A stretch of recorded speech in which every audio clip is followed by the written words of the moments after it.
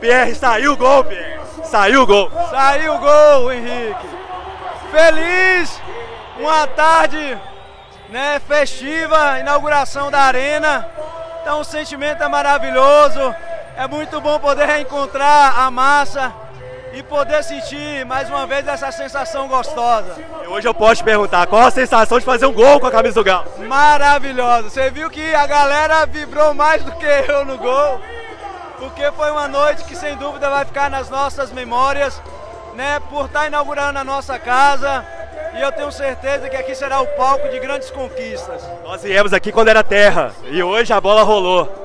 Emociona ver um estádio dessa, desse tamanho, dessa magnitude? Demais, ainda mais a gente que acompanhou todo o processo.